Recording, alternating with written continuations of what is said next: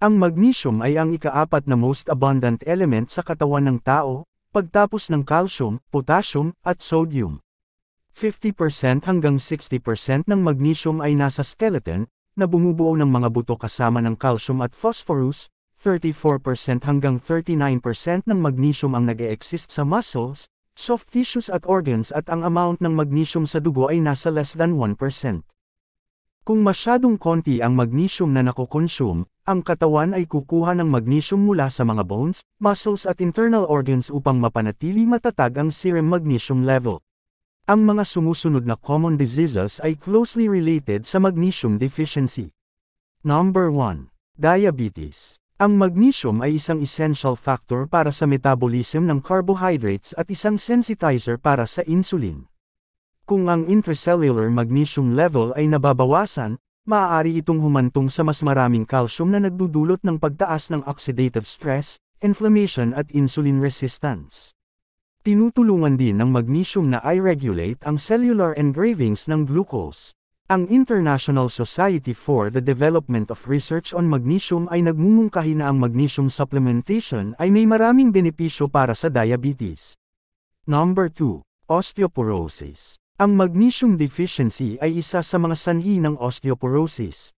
Ang isang pag-aaral ng higit sa 70,000 postmenopausal na mga babae ay nagpapakita na ang pagbawas ng magnesium intake ay nagresulta sa mas mababang bone mineral density sa balakang at ng buong katawan.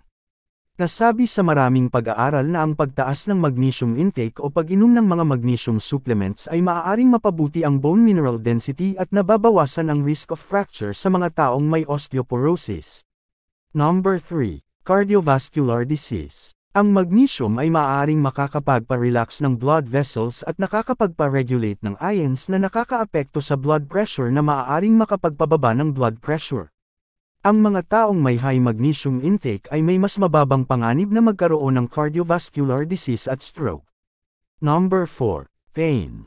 Mula sa isang neurological point of view, ang magnesium ay gumaganap ng isang mahalagang papel sa neurotransmission at neuromuscular transmission, at sa makatuwid ay nauugnay din sa pain relief. Sa panahon at sa pagitan ng pag-atake ng migraine, ang mga antas ng serum magnesium sa katawan ay bumababa at ang magnesium concentration sa utak ay mas mababa din. Ang magnesium ay maaari ding magkaroon ng analgesic at pain-relieving effect sa mga pasyenteng may chronic pain.